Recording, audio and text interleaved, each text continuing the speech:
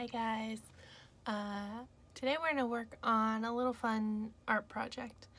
Um, now the project will take probably a couple hours just because it's going to need time to dry in between um, the two stages. Um, but it's something fun and I thought you might enjoy it. Alright, I'm going to put the camera down and I'll show you what um, supplies we need. Well actually here, we'll do it first. So you need a little cup of water, maybe about a quarter cup, eighth of a cup of water.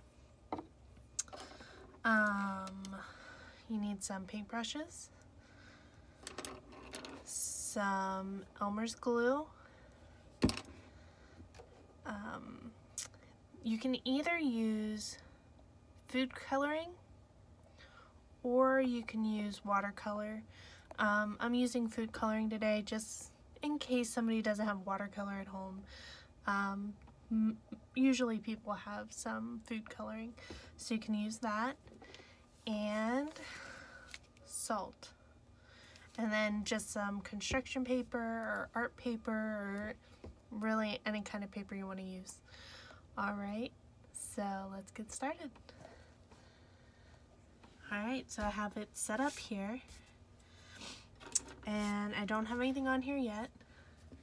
So you can either draw something first, uh, whatever you want to outline, um, whether it be like a flower or a sun or whatever you would like. And if you trace it, or if you draw something, you're going to trace it with using the Elmer's glue.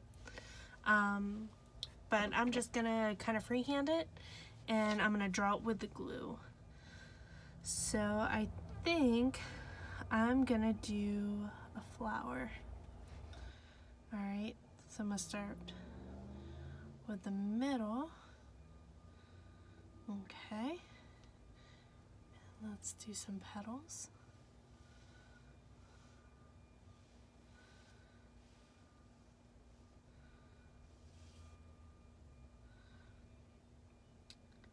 You can kind of go as into detail as you would like.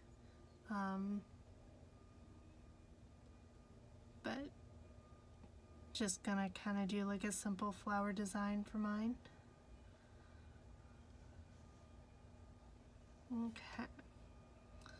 Do the stem. Little leaf. And I think I want mine to be a sunflower. So I'm going to do little dots in the middle for the seeds.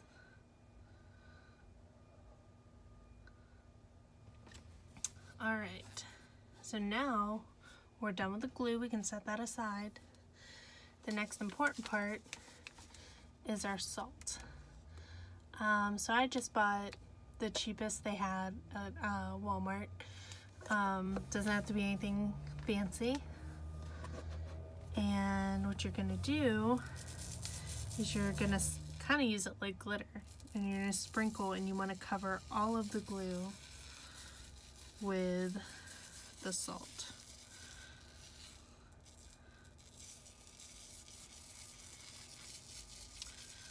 So go ahead and cover it all up.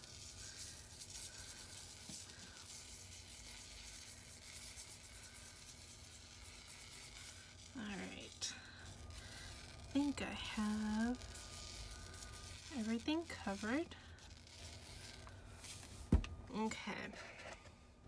So now I'm gonna just set this aside because we have to let it dry. But I have another one I did earlier and I had already started coloring it and I did a rainbow.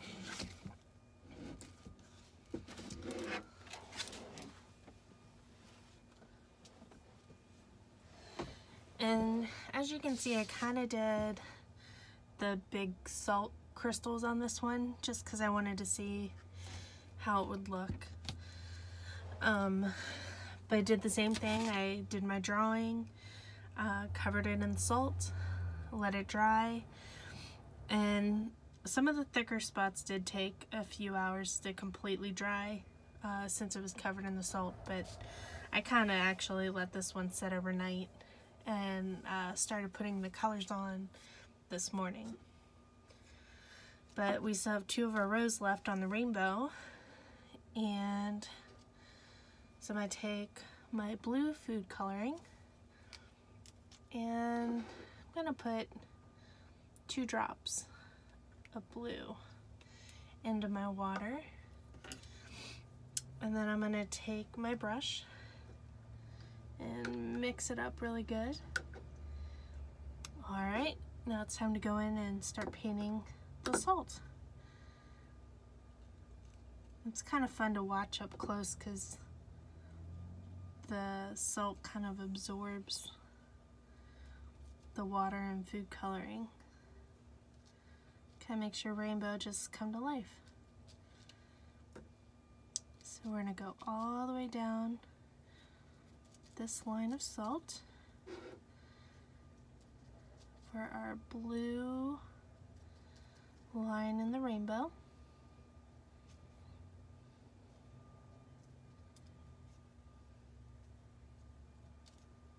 And you can kind of do a couple layers if you want. It'll darken up and soak up some of the salt or some of the watercolor.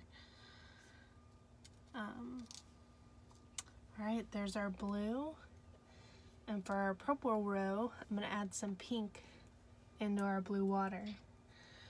So I'm to do two drops of pink.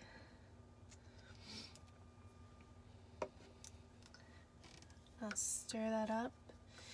And I did find out when I was doing, um, I did the red and then the orange.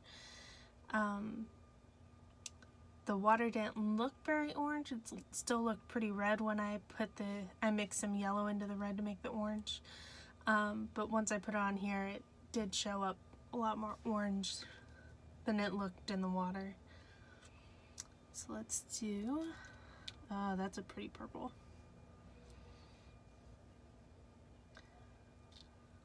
Nothing wrong with a big rainbow right now, huh?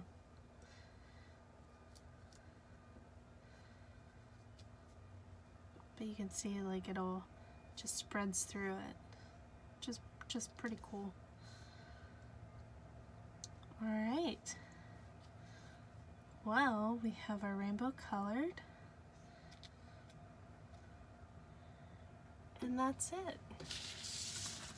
So our final project came up. We have our cloud and our rainbow. So you can do whatever you would like.